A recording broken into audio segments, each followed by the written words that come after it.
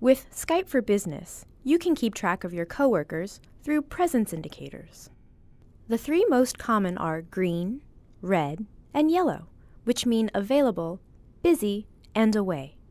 Skype for Business changes these indicators based on your activity and Outlook schedule. Because Tony's available, I'll send him an instant message. When I hover over his picture, these buttons appear. I'll click the first one to start the IM.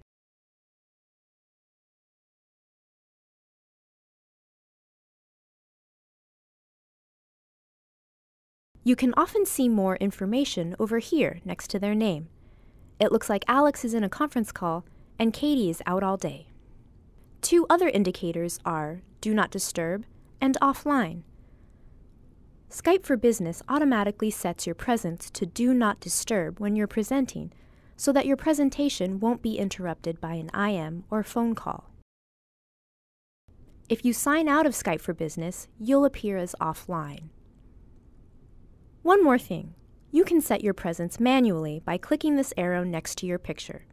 This is helpful when you're busy, want to appear away, or don't want to be disturbed. For more about Skype for Business, visit aka.ms slash meetsfb.